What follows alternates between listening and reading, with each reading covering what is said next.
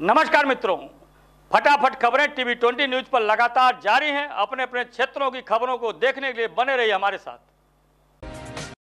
संयुक्त किसान मोर्चा व ट्रेड यूनियन के संयुक्त आह्वान पर कारपोरेट विरोधी दिवस पर प्रतिरोध मार्च कर सौंपा ज्ञापन। आज निजीकरण व अन्य समस्याओं को लेकर संयुक्त विकास मोर्चा द्वारा धरना प्रदर्शन किया। जिलाधिकारी को ज्ञापन दिया और किसान नेता डॉक्टर रविंद्र राय ने बताया कि सरकार किसान मजदूर, छात्र, कर्मचारी विरोधी है और हम लोग केंद्रीय राज्य सरकारी नीतियों के विरोध में मार्च निकालकर जिलाधिकारी के माध्यम से राष्ट्रपति को ज्ञापन दिया जा रहा है। प्रतिरोध मार्च में निजीकरण मुर्दाबाद, नए कृषि कानून को रद्द करो। श्रम कानून मजदूरी विरोधी है। डीजल, पेट्रोल, रसोई गैस सहित ज़रूरत की वस्तुओं पर भी लगाम महँगाई पर रोक लगाई जाए सहित अपनी विभिन्न मांगों को संयुक्त किसान मोर्चा ने आक्रोश व्यक्त किया। सबसे पहले बताइए आज किन मांगों को लेकर देखिए हम लोग संयुक्त किसान मोर्चे की तरफ़ से यहाँ आए हुए हैं।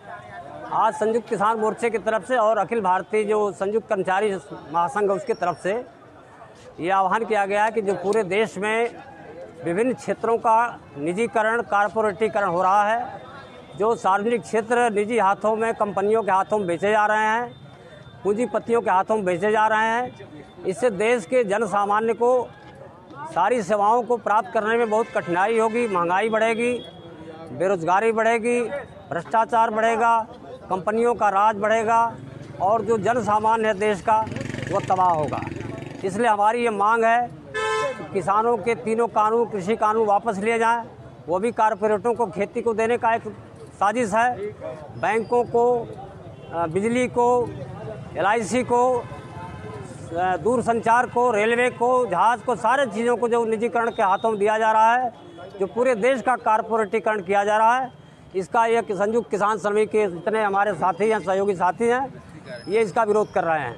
एम एस पी की गारंटी के लिए कानून बनाने की बात कर रहे हैं और पूरे देश में आज कारपोरेट विरोधी दिवस के रूप में ये हम लोग कारपोरेट विरोधी दिवस के रूप में हम लोग पूरे देश में प्रतिरोध मार्च निकाल रहे हैं। आज उसी परिप्रेक्ष्य में आजमगढ़ के सभी साथी कारपोरेट विरोधी दिवस के बैनर तले यहाँ आए हैं और राष्ट्रपति महोदय को जिलाधिकारी महोदय के माध्यम से ज्ञापन देंगे। और जो देश में कारपोरेटकरण हो रहा है, निजीकरण हो रहा है, सार्वजनिक क्षेत्रों को की बिक्री हो रही है, औने पवन गाँव में, उसके हम लोग विरोध के लिए यहाँ पर आए हुए हैं। राष्ट्रपति महोदय ज्ञापन देंगे, जिलाधिकारी महोदय के माध्यम से। देश में लोगों के पास अधिकार है, लेकिन अधिकारियों का, अधिकारों का फ़ायदा उठाने वालों की भी कमी नहीं है। सोशल मीडिया पर वायरल हुए एक वीडियो में टोल विवाद को लेकर एक जिला जज की जमकर खिल्ली उड़ाई जा रही है। विवाद है कि ये टोल बूथ पर जिला जज अपनी नौकरी की धौंस दिखाते हुए पैसे देने से इनकार कर रहे थे। उनकी दलील थी कि वह राजस्थान और मध्य प्रदेश से होकर आ रहे हैं और उन्होंने वहाँ भी टोल नहीं दिया। तभी टोल मैनेजर ने उनसे, ने आकर उनकी कानून का पाठ पढ़ा दिया। टोल मैनेजर ने आकर उनकी क्लास लगा दी। टोल मैनेजर ने कहा कि अधिकारों के मुताबिक हाई कोर्ट के जज के लिए टोल देना माफ़ है लेकिन आप डिस्ट्रिक्ट कोर्ट से हैं और आपके आपने लेन भी जाम कर दी है। उस दौरान क्या कुछ बातचीत हुई इस वीडियो में आपको सुनवाते हैं। एक मिनट एक मिनट आप लिए रहो। जी बताएँ। जी। क्राइम डिस्ट्रिक्ट कोर्ट फिरोजाबाद अच्छा। क्या आपने टोल एक्ट पढ़ा है? आप ज़रूर अगर न्याय विभाग से पढ़े होंगे रुको दूर रखो इसको कार्ड दूर पीछे जाओ थोड़ा डिस्टेंस मेंटेन करो। हाँ जी बताएँ। में कहा है आपने पढ़ा है कि नहीं पढ़ा है? नहीं मैं बाद में बताऊँगा। पहले आप हाँ या ना में जवाब दीजिए। आप हाँ या ना में जवाब दीजिए। आपने पढ़ा है कि नहीं पढ़ा है? पढ़ा है तो क्या लिखा है उसमें आपके लिए? है। आप पढ़े ही नहीं हैं। सुनिए उच्च न्यायालय मतलब हाई कोर्ट। आप हाई कोर्ट से नहीं हैं आप डिस्ट्रिक्ट कोर्ट से हैं। दूसरी बात कि आप लेन जाम किए हैं तो तो आप कहीं से भी होंगे मैं इतने कानून निकालूँगा जैसे आप कानून फंसाते हो निकालते हो ना। इतनी तारीखें आप लोग लेते हो आम आदमी बेहोश हो जाता है। उसकी आत्मा मरने लगती है। निकाल के थोड़ा बात करें। जी। एक तो आप अपनी कहते जाएँगे। आप अपनी कह दीजिए। लेन मानकर हमने जान नहीं की हाँ। हमने लेन जान नहीं किया किया है आपने। क्यों किया? आपने किया? कितनी देर से आपकी गाड़ी खड़ी है? दस मिनट से क्यों खड़ी है? क्यों खड़ी है? जब आपने टोल एक्ट पढ़ा है और आपको पता है हाई कोर्ट के जज फ्री हैं आप नहीं फ्री हैं आपने क्यों? आप मैंने कार्ड दिखाया मैंने कि सर आप आप अपने किसी अधिकारी से मेरी बात करा दो आप जब आपको पता है कि आप फ्री नहीं फिर अधिकारी से बात करना था आपको गाइड सुनिए एक मिनट सुनिए भाई। सुनो राजस्थान और एमपी से आ आप कहीं से आ रहे हैं? आपने अपने अधिकारों का मतलब गलत इस्तेमाल कर डाला राजस्थान एमपी में? टोल पे मुझसे किसी आपने अपने अधिकारों का गलत इस्तेमाल कर डाला। करा ही है आपने? पेमेंट दीजिए आप। आप पेमेंट दीजिए। न्यायालय को कंसीडर नहीं करेंगे नहीं करूँगा। आप रूल नियम से बढ़ के न्यायालय भी नहीं है। नियम में आप फ्री नहीं आप पेमेंट दीजिए। अस्सी रुपए दीजिए। अरे कुछ मिल रहा है ठीक है नहीं मिल तो उसको हक के लड़ाई ना लड़ो गलत बात है भाई। लड़ाई की लड़ाई आप लड़ रहे हैं आप दस मिनट से जाम कहा ये ट्रक वाला बेचारा आप इसका माइलेज जानते हैं? साढ़े तीन किलोमीटर देती है। आप फूक रहे हैं उसका माइलेज आप जैसे लोग देश को बर्बाद कर रहे हैं। हमारा माइलेज नहीं है। आपका माइलेज है तो आप, आप सुने आप गलत की लड़ाई लड़ रहे हैं। आपका माइलेज है आप गलत लड़ाई लड़ रहे हैं। लेट हो रहे थे तो हमको खड़ा करके वहाँ बात करा क्यों? पहले आप पेमेंट देते, फिर आप, अगर कल्चर्ड इतने कल्चर्ड थे, आप पेमेंट देते, उसके बाद आप साइड लगाते। सुनिए आप, बस कीजिए। क्या नाम है इनका? नाम बताइए। बस। आप जैसे लोग पता नहीं कहाँ बैठ गए हैं, बकाया सच ये है कि बिना आत्मा का आदमी अगर न्याय में बैठे, उसको निकाल देना चाहिए। दीजिए कार्ड दीजिए इनको पेमेंट हो गया। जाइए अब आप। अब बस जाइए आप। माफ़ कीजिए। आपने बहुत नुकसान किया गाड़ी वालों का। आपका क्यों फ़ायदा करूँ? रूल से बढ़ के आप हैं क्या? आपको भी तो लेट ही किया है आपने खुद किया है। आप इतने कल्चर्ड थे, आप पेमेंट देते, आते आपको मैं बैठाता, पानी पिलवाता। लेकिन नहीं, आप नहीं हैं। खबर आजमगढ़ के थाना महाराजगंज से है, जहाँ की निवासी रंजना पुलिस अधीक्षक और जिलाधिकारी से मिलकर के इंसाफ की मांग की है। अपने परिजनों और ग्रामीणों के साथ न्याय पाने पहुँची रंजना ने कहा कि पुलिस मेरे घर आकर मारपीट की है और जब मेरी बेटी वीडियो बना रही थी तो उसके साथ भी अभद्रता की है। मलिक महिला कहना है कि उसके घर के सामने स्कॉर्पियो खड़ी थी, जिसको पुलिस ने तोड़ दिया। रंजना कहना है कि यदि उसके पति अपराधी है तो उसे गिरफ़्तार किया जाए, पर घर पर खड़ी स्कॉर्पियो महिलाओं बच्चों के साथ पुलिस उत्पीड़न न किया जाए। पुलिस अधीक्षक का कहना है कि उस गाँव उस गाँव में कुछ दिन पहले एक मर्डर घटना सामने आई थी, जिसमें कई लोग झेल गए थे और वो छूटकर आ गए हैं। उनके ऊपर गुंडा एक्ट का मुकदमा कायम किया गया है, जिसकी कार्रवाई में जब पुलिस गाँव में गई तो पुलिस के साथ वहाँ की महिलाओं ने दुर्व्यवहार किया। क्या कुछ कहा? पीड़ित रंजना ने और एस पी आजमगढ़ ने आपको सुनवाते हैं। हमारा नाम रंजना है। हम गोनापुर से रहने वाले हैं। और परसों रात परसों शाम चार बजे पुलिस हमारे घर पे आई और बिना कुछ बोले बिना कुछ कहे हमारे द्वारे पर स्कॉर्पियो खड़ा था। तब और तोड़ स्कॉर्पियो पर धाए धाए पीटने लगी। हम लोग बोले क्यों पीट रहे हो? तो बोले तुम तुम्हारा वो आदमी ससुर तुम्हारा जिला बदल है। हम बोले कि जिला बदल तो उसको मारिए उसको पीटिए हमारे स्कॉर्पियो क्यों तोड़ रहे हो?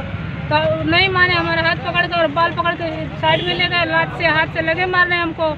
तो एक लड़की ये लड़की जो वीडियो बना रही थी ये वीडियो मोबाइल देख लिया उन्होंने। फिर मोबाइल छीन करके इसका भी बाल पकड़ के और इसको भी लात हाथ से मारने लगे और लेडीज़ लेकर आए थे चार लोग थे। हम लोग सभी चारों लोग अस्पताल में भर्ती थे सदर अस्पताल में। हम लोग का दो दिन इलाज चला है। आज यहाँ पर धरना देने आए हैं। अच्छा वीडियो भी बना मिले हाँ हमारे पास एक वीडियो भी है जो एक लड़की यहाँ से ऐसे करके खींची हुई है सारा मंदिर में दिख रहा है। साफ़ नहीं है मगर दिख रहा है सब कुछ दिख रहा है साफ़ साफ़ दिख रहा है। अच्छा तो और क्या क्या दिख रहा है हम हमको इंसाफ चाहिए हम लोग मार खाए हैं। हमको कानून नहीं देगा और आप लोग नहीं करेंगे तो हम अपना वो जो धर्म बदलेंगे हम लोग अपना धर्म बदलेंगे मगर हमको इंसाफ चाहिए। डीएम साहब से हम रिक्वेस्ट है कि हमारा वो जो है साहब यहाँ आप आई हैं क्या कहना चाहेंगे? हाँ एस पी साहब के यहाँ आए हैं। हमारा उनसे रिक्वेस्ट है कि हमारा वो जो है हमारा निदान करे सम- समस्या का समाधान करे। हमारा सुनवाई करे। हमसे अब उनसे यही उम्मीद है। महाराजगंज में एक मामला है जिसमें महिलाएँ कुछ घायल हुई हैं। उनका आरोप है कि पुलिस वालों ने उनके घर जाके तोड़फोड़ की। क्या मामला है सर पूरा? देखिए, मेरे द्वारा इस, इसकी पूरी जानकारी की गई है और ये इस, ये बात सामने आई कि महाराजपुर के एक गाँव में एक मर्डर हुआ था और उस मर्डर में काफ़ी लोग जेल गए थे, जो नामजद लोग थे। उसमें से कुछ लोग बेल पर बाहर आ गए हैं और उनके द्वारा लगातार जो जो मृतक पक्ष था, उस, उसे डराया, धमकाया जा रहा था। इसमें चार लोगों के गुंडा एक्ट भी किया गया है। गुंडा एक्ट का नोटिस तामील करने जब चस्पा करने जब पुलिस गाँव में गई तो वहाँ की जो महिलाएँ और अन्य लोग थे उनके द्वारा पुलिस पर पथराव किया गया। तो पुलिस द्वारा भी हल्का बल प्रयोग उनके ऊपर किया गया है और यही पूरा घटनाक्रम घर के शीशे तोड़ दिए और दरवाजे तोड़ दिए स्कॉर्पियो गाड़ी तोड़ दी इस पर क्या करना देखिए जी जो भी आक्रामक पक्ष होता है वो हमेशा पुलिस पर आरोप लगाता है। और यदि उनका कोई आरोप ऐसा आरोप है तो लिखित रूप में दे उसकी जाँच कराई जाए ठीक है सर। जगदीश सिंह पूर्व प्रधानाचार्य, डीएवी इंटर कॉलेज, आजमगढ़ तथा उनकी धर्मपत्नी डॉक्टर श्रीमती मुन्नी सिंह, सेवानिवृत्त एसोसिएट प्रोफेसर, बीएड विभाग, श्री अग्रसेन महिला पीजी कॉलेज, आजमगढ़ ने आज कोविड नाइन्टीन का टीका हेल्थ सेंटर बदरका आजमगढ़ में लगवाया। उन्होंने लोगों से अपील किया कि आप सभी लोग इस टीके को लगवाएँ, जिससे कोरोना महामारी से बचा जा सके। लोगों से उन्होंने अपील किया कि इस टीकाकरण से डरने की ज़रूरत नहीं है, आप अपने भी लगवाएँ, व लोगों को भी प्रेरित करें, जिससे कोरोना महामारी से बचा जा सके। खबर आजमगढ़ से है, जहाँ पूरे देश में दो दिन की बैंक कर्मियों की हड़ताल से लगभग 40 करोड़ से ऊपर का लेन देन प्रभावित हुआ है। वही व्यापारी व आम आदमी को काफ़ी परेशानी का सामना करना पड़ रहा है। ग्यारहवें वेतन समझौता, पुरानी पेंशन बहाली व अन्य मुद्दों को लेकर United Forum of Bank Union के निर्देश पर बैंक कर्मचारी लामबंद हो गए हैं और अपनी मांगों को लेकर के सड़क पर उतर गए हैं। इसके साथ हर जगह धरना प्रदर्शन शुरू कर दिए हैं।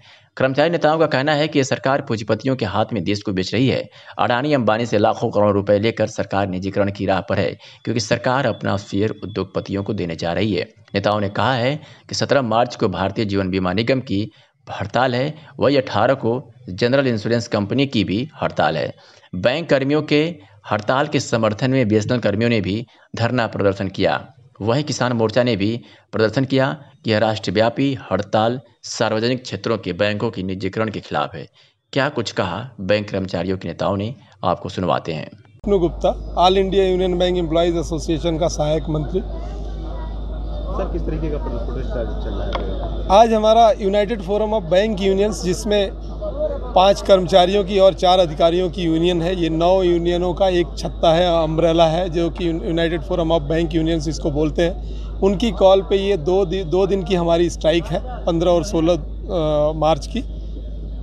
और आगे जो है अभी पंद्रह सोलह के बाद सत्रह तारीख को भारतीय जीवन बीमा निगम की स्ट्राइक है और अठारह तारीख को जनरल इंश्योरेंस कंपनी की स्ट्राइक है। ये जो चार दिन की बीमा और बैंकिंग की जो स्ट्राइक है ये भारत सरकार के निजीकरण के विरोध में है और भारत सरकार जो ये निजीकरण कर रही है ये आ, सभी बैंकों में से फ़िलहाल और इंश्योरेंस सेक्टर से अपनी पूंजी जो है उनकी कहीं 80 परसेंट है कहीं पचासी परसेंट है कहीं पैंसठ परसेंट है वह निकाल करके और वह अपने आकाओं को देना चाहती है वो इस तरह के चीज़ों में लगाना चाहती है जैसे कॉरपोरेट घराने आपने सुना होगा अडानी और अंबानी इनके इनके ऐसी चीज़ों में लगाएगी जो इनको फ़ायदा होगा इनको खुश करेंगे ताकि आने वाले इलेक्शन में इनसे बीस हज़ार, पचास हज़ार करोड़ रुपए लेकर के और ये अपनी पार्टी के एजेंडा को सफल करेंगे ताकि ये फिर से पावर में आ पाएँ। इनको आम जन से कोई मतलब नहीं है। भारत आपने सुना होगा एक कृषि प्रधान देश है, लेकिन इनको कृषकों से मतलब नहीं है। आपने देखा होगा बैंकों में जा के कि राष्ट्रीयकृत बैंकों में कितने गरीब लोग आते हैं, जिनके स्तर को आप समझ सकते हैं। आप, मेरे समझ से आप अगर मुझे देख रहे होंगे तो आप एक किसी प्राइवेट बैंक में एक सामान्य जन जाने की हिम्मत नहीं होती है। और अगर प्राइवेट बैंक हो गए हम, जैसे जो ये राष्ट्रीयकृत बैंक है तो एक आम जन जिनके खाते हैं वो बहुत परेशानी में हो जाएँगे और वो उन खातों को चला नहीं पाएँगे। तो ये सरकार पूरी तरह से एक आम जनों को ये परेशान करने की एक उनकी चाल है और इसी के विरोध में हम बैंक जन इस पे दो दिन के स्ट्राइक में हैं। आज ये बैंक कर्मचारियों की हड़ताल पूरे देश में दो दिन की स्ट्राइक की काल है 15 मार्च और 16 मार्च की। ये सरकार, जो एनडीए सरकार है, ये सिर्फ़ बैंकों का निजीकरण नहीं कर रही है, बल्कि जितनी भी इस देश में पीयूसी पीयूसी संस्थाएँ हैं, सब, सबका निजीकरण करने की जो है एक निजीकरण करने पर तुली हुई है। हम इसके विरोध में हमारे संगठन ने दो दिन की कर, ये हड़ताल की काल दी है। हम लोग दो दिन सारे बैंक बंद हैं। इसके पहले इस सरकार ने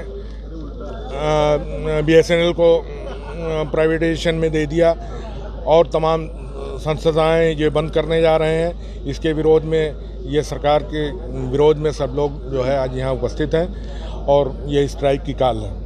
क्या लगता है सरकार इस तरह की कार्रवाई निरंतर की जा रही है? विभाग में विभाग निजीकरण किए जा रहे हैं, क्यों किया जा रहा है? सरकार में क्या ऐसी सरकार क्या कमी देख रही है विभागों में कि निजीकरण की तरफ़ झुक रही है? ये सरकार पूंजीपतियों की सरकार है और पूंजीपतियों का जो है भला करने के लिए कभी बैंक बेच रही है, कभी बीएसएनएल बेच रही है, कभी जो है रेलवे बेच रही है, कभी किसानों का जो है इतना बड़ा 110 दिन से स्ट्राइक चल रही है। ये सरकार सिर्फ़ निकम्मी सरकार है और ये इस देश को बेच डालने पर तुली हुई है। अच्छा तो कब तक आपका प्रोटेस्ट चलता रहेगा और क्या मांगे हैं मुख्य रूप से आपकी? हमारे मांगे जो आज चार बैंकों को निजीकरण के के में ढकेला जा आजमगढ़ ज़िले के सिधारी थाने भदुली बाज़ार में उस समय माहौल गर्म हो गया जब पंचायत चुनाव लड़ने की तैयारी कर रही महिला के पति की एसपी ने सार्वजनिक रूप से पिटाई की और नौ चार पहिया वाहनों को सीज कर दिया। नेता ने एसपी पर उत्पीड़न व कार्यकर्ताओं के समझ समक्ष बेइज्जत करने का आरोप लगाया है। गेलवारा के रीता यादव पंचायत चुनाव लड़ने की तैयारी कर रही है। उनके पति श्रीकांत यादव परिवार को वाहनों के काफिले के साथ क्षेत्र में पंचायत प्रचार कर रहे थे। भदोली बाज़ार के पास काफ़ी संख्या में समर्थक मौजूद थे, जिसके चलते जाम लग गया। इसी दौरान एसपी सुधीर कुमार सिंह पहुँच गए और डीआईजी के सरायमीर थाने के वार्षिक के सिलसिले में जा रहे थे, जाम में फंसने के कारण एसपी आग बबूला हो गए। उन्होंने श्रीकांत यादव को पास बुलाया और बिना कुछ पूछे पीटना शुरू कर दिया। इसके बाद एसपी ने सिधारी थाना पुलिस को मौके पर बुलाया और मौके पर मौजूद न वाहनों, उनके चालकों व प्रत्याशी पति को थाने भिजवा दिया, जहाँ पुलिस ने सभी वाहनों को सीज कर दिया। पुलिस अधीक्षक ने बताया कि अभी चुनाव की प्रक्रिया शुरू भी नहीं हुई है और पूरे जनपद में धारा एक सौ चौवालीस लागू है। उसके बाद भी दस गाड़ियों के ऊपर हार लगाकर सड़क को घेर कर चल रही थी। क्या कुछ कहा इस बाबत एसपी आजमगढ़ ने आपको सुनवाते हैं? सर कल। सर कल नौ गाड़ियाँ सीज की गई। क्या मामला क्या था मामला? देखिए अभी चुनाव की प्रक्रिया शुरू भी नहीं हुई है और प्रत्याशी अपना प्रचार कर रहे हैं लेकिन धारा 144 लगी हुई है और धारा 144 के अंतर्गत उसकी धारा 144 का पालन होना चाहिए। अ, अ, आ, जो व्हीकल एक्ट है उसके अंदर ये भी है कि कोई भी अपनी गाड़ी के ऊपर माइक नहीं लगाएँगे जो हॉर्न है वो नहीं लगाएँगे और सभी गाड़ियों में ऊपर हॉर्न लगा हुआ था। ये प्रैक्टिस इवन जो सरकारी अफसर्स हैं उन्हें भी इसे एग्ज़ाम नहीं किया गया। तो जब मैं इधर से जा रहा था तो लगभग दस गाड़ियाँ रोड पर थी, पूरी रोड को घेर कर चल रही थी, जो कि क्लियर कट धारा 144 का उल्लंघन है। मेरे द्वारा उनको थाने को आवश्यक कार्रवाई करने हेतु निर्देश दिया गया था और थाने द्वारा आवश्यक कार्रवाई उसमें की गई। पुलिस उप महानिरीक्षक आजमगढ़ परिक्षेत्र सुभाष चंद्र दुबे द्वारा पुलिस लाइन में वार्षिक निरीक्षण किया क्रम में जनप्रतिनिधियों के साथ बैठक की गई, जिसमें जीडी कार्यालय, बैरक, पुलिस पेंशन व संभ्रांत व्यक्तियों के साथ बैठक कर उनकी शिकायतों को सुन, मामले का निस्तारण किया गया और संबंधित को आवश्यक दिशा भी निर्देश दिए गए। अन्य शाखाओं से भी अन्य शाखाओं में भी निरीक्षण कर संबंध को आवश्यक दिशा निर्देश दिए गए, जिसमें सभी जनप्रतिनिधि उपस्थित थे। उन्होंने कहा कि शिष्टाचार की बैठक थी। जनप्रतिनिधियों से उनके क्षेत्र की समस्याओं के बारे में जो व्यक्तिगत या सार्वजनिक हो, सबके बारे में जानकारी ली गई। सभी लोगों ने अपने सुझाव भी दिए और जो शिकायतें आई है, उस पर कार्रवाई भी की जाएगी। इस बैठक में जनप्रतिनिधियों के संबंधित लोग भी शामिल थे और लोगों से आगामी चुनाव के संबंध में भी वार्ता की गई। इस मौके पर पुलिस अधीक्षक आजमगढ़, सुधीर कुमार सिंह, अधिकारी और पुलिसकर्मी सहित भारी संख्या में लोग मौजूद थे। क्या कुछ कहा? डीआईजी सुभाष चंद्र दुबे ने। सुनवाते हैं आपको। पुलिस लाइन में बैठक की गई है क्या उद्देश्य? पुलिस लाइन के वार्षिक निरीक्षण के क्रम में आजमगढ़ में माननीय जनप्रतिनिधियों की बैठक की गई है। आप देख रहे हैं इसमें माननीय जनप्रतिनिधिगण सभी विधायक हैं एमएलसी साहब उपस्थित हैं कप्तान साहब भी उपस्थित हैं। आप लोगों से ये एक शिष्टाचार भेंट वार्ता थी जो एक अप, अपरिहार्य इस वार्षिक निरीक्षण का हिस्सा है। माननीय जनों से उनके क्षेत्र की या अदर कोई व्यक्तिगत या सार्वजनिक समस्याओं या सुझावों के बारे में बातचीत की गई। सभी लोगों ने जो उनको सुझाव देने थे सुझाव दी और कोई ऐसी समस्या इस प्रकार की नहीं बताई गई। जो बहुत ज़्यादा महत्वपूर्ण हो, कुछ इशूज थे जिसको उनके द्वारा बताया गया, उसको कप्तान साहब की तरफ़ से कार्रवाई की आजमगढ़ के उतरवलिया से खबर है, जहाँ शासन के निर्देशानुसार साठ वर्ष से अधिक व्यक्तियों, पैंतालीस से साठ के, साठ वर्ष के कोमार्बिड व्यक्तियों को कोविड नाइन्टीन वैक्सीनेशन हेतु एक मार्च 2021 से एक बृहद कार्यक्रम पूरे जनपद में चलाया जा रहा है। इसके अंतर्गत जनपद में समस्त ब्लॉक के सामुदायिक व अतिरिक्त प्राथमिक स्वास्थ्य केंद्रों पर सप्ताह में तीन दिन सोमवार, बृहस्पतिवार एवं शुक्रवार को कोविड नाइन्टीन का टीका लगाया जा रहा है। इसी क्रम में आज 15 मार्च 2021 दिन सोमवार, बृहस्पतिवार व शुक्रवार को सामुदायिक स्वास्थ्य केंद्र अतरौलिया, सौ से बेड अस्पताल अतरौलिया, प्राथमिक स्वास्थ्य केंद्र सेनपुर, वासीपुर, उड़वा उप केंद्र व एएनएम सेंटर पर टीकाकरण किया जा रहा है। प्रत्येक ब्लॉक से 500 लोगों को प्रतिदिन टीका लगाने का निर्देश मिला है। इसके लिए पहचान पत्र जैसे आधार कार्ड, वोटर कार्ड या बैंक पासबुक, आईडी प्रूफ के लिए ज़रूरी है। टीका लगने के बाद वेटिंग रूम में 30 से 45 मिनट ऑब्जर्वेशन रुकने के बाद ही लोगों को जाने दिया जा रहा है। अतरौलिया पर लगभग डेढ़ सौ लोगों का टीकाकरण हो चुका है। क्या कुछ का इस बाबत शिवाजी, डॉक्टर शिवाजी सिंह अधीक्षक ने आपको सुनवाते हैं। टीचर का साठ साल से ऊपर टीकाकरण हो रहा है। कब से चल रहा है ये एक मार्च से चला है। एक मार्च से हम लोग साठ साल के ऊपर वालों को टीका लगा रहे हैं और कोमार्बिड वाले जो पैंतालीस, उनसठ साल हैं, उनको कोमार्बिड हो जैसे डायबिटीज़ है, कैंसर है, हाइपरटेंशन है। एक मार्च से चल रहा है। आज दिनांक पंद्रह मार्च को हम छः जगह अपने अपने एरिया में लगवा रहे हैं, जिसमें कि हंड्रेड बेड, अतरौलिया, बासेपुर डड़वा सैनपुर और ये अपना सी। यहाँ लग रहा है हमें इसका है पूरा टारगेट 500 पर डे लगाना है। पूरे ज़िले में 10,000 लगना है तो इस अपने ब्लॉक से पाँच 500 केस पर डे लगाना है। सर टीका लगने के लिए क्या क्या डॉक्यूमेंट ज़रूरत है और कैसे किस प्रक्रिया से गुजरना पड़ रहा है? इसमें हमें एफ़ सिक्सटी के लिए आधार कार्ड कोई एज प्रूफ आईडी चाहिए जिसमें आपका आधार कार्ड हो सकता है वोटर आईडी कार्ड हो सकता है बैंक का पासबुक भी हो सकता है जिसमें एज हमें सिक्सटी के अबव हो और या कोमार्बिड है तो कोई डॉक्टर का स्लिप या आधार कार्ड दोनों चाहिए टीका लगाने के बाद क्या वेटिंग में हाँ? वेटिंग में उसको हम तीस से पैंतालीस मिनट तक ऑब्जर्वेशन रूम में रुकने के लिए कर रहे हैं। उसके बाद फिर हम सेकेंड डोज का डेट आज हमारे यहाँ कम से कम डेढ़ सौ का टीकाकरण हो चुका होगा और चल रहा है। चार जगह और चल रहा है। नहीं नहीं कोई ऐसा एफ़ आई नहीं।